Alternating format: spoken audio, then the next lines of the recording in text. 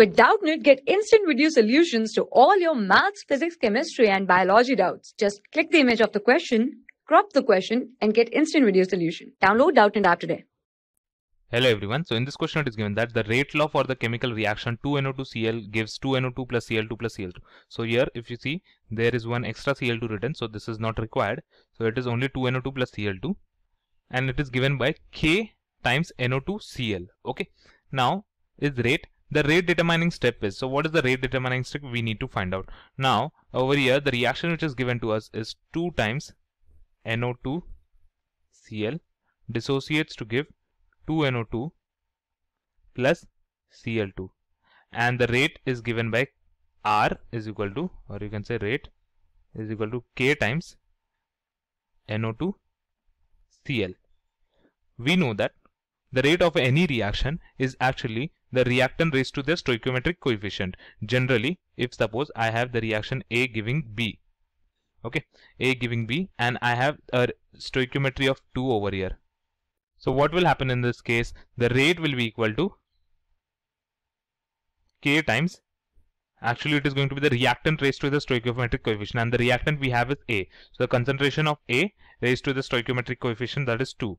But what happens is and the rate is only given for the reaction which is the slowest step. Because the slowest step or you can say the elementary step is responsible for the rate of the reaction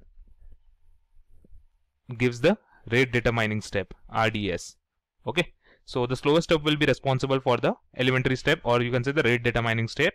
And now you uh, over here it is given the rate is equal to K times NO2Cl but here we have 2 as the stoichiometric coefficient. So this equation 1 can be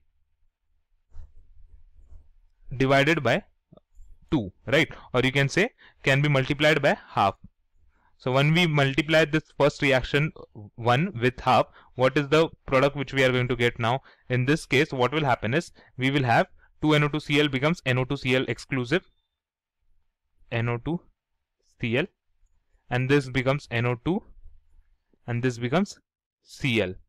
Now, if this is the RDS, then only it is supposed to give the rate. So this is suppose it is the rate determining step or the elementary step. So this is the slowest steps and henceforth the rate R is equal to K times NO 2 Cl.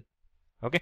So from this we can say that the elementary step or the rate determining step or the slowest step is NO2Cl giving NO2 plus Cl. So let's check the option in which this reaction is given NO2Cl, NO2 plus Cl.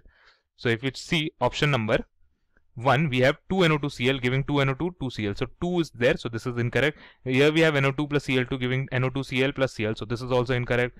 In this we have NO2Cl plus Cl giving NO2 plus Cl2. This is also incorrect. In the last option we have NO2Cl giving NO2 plus Cl. So this option will be the correct answer for this question. Thank you. For class 6 to 12, IIT JEE and NEET level. Trusted by more than 5 crore students. Download Doubtnut app today.